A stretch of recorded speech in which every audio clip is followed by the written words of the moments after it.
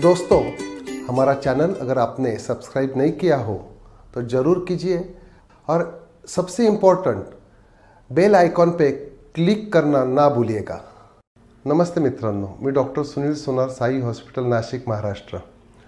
आता ना आजकाल बरेचसे लोक आमच्याकडे नी रिप्लेसमेंट हे ऑपरेशन करता येतात आता तुम्ही जर हे ऑपरेशन बघाल तर ही जी प्लेट आहे ही सगळी गादी ही सगळी तुमच्या हाडावर बसली आणि आम्हाला ऑपरेशन करताना हे जाणवतं की तुमची हाडं खूप ठिसूळ झालेली आहेत. आता ही हाडं ठिसूळ का होतात हे आपल्याला समजून घेतलं पाहिजे.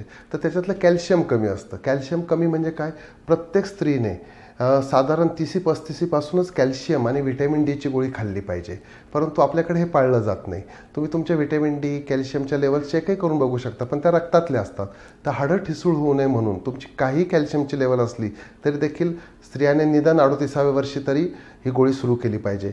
कारण जेव्हा मेनोपॉज नंतर म्हणजे मासिक पाळी बंद झाल्यानंतर ही हाडं अजून वेगाने ठिसूळ होतात तुमचे स्नायू सगळे वीक होतात.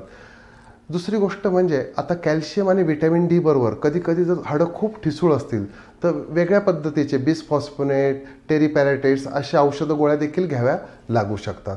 आपण जे अन्न खातो त्याच्यामध्ये नागलीमध्ये कॅल्शियम भरपूर आहे. आणि दूध आणि दुधाचे सगळे प्रॉडक्ट्स म्हणजे दही किंवा चीज याच्यामध्ये भरपूर कॅल्शियम आहे.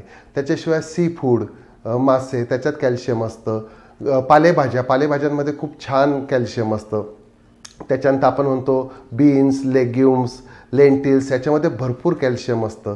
तर हे कॅल्शियम असलेले पदार्थ जरूर खाल्ले पाहिजे. दुधाचा नागलीचा वापर जरूर करा तुमच्या याच्यामध्ये. आणि पालकाच्या भाषेतही भरपूर कॅल्शियम आहे. तर आपलं कॅल्शियम चांगलं राहील याची काळजी घ्या. जेवढं कॅल्शियम चांगलं तेवढे हाडं स्ट्रॉंग आणि तेवढी त्याची झीज कमी. थैंक यू दोस्तों हमारा चैनल अगर आपने सब्सक्राइब नहीं किया हो तो ज़रूर कीजिए. हमारे नेक एक्सरसाइज का वीडियो आपको बहुत पसंद आया, वो बहुत वायरल हुआ। ये वीडियो अगर आपको पसंद आता है तो ज़रूर आप, आपके दोस्तों को, आपके रिश्तेदारों के पास ये शेयर कीजिएगा। आपको कैसा लगा, ये हमको ज़रूर बताइएगा। और सबसे इम्पोर्टेंट बेल आइकॉन पे क्लिक करना ना भूलिएगा।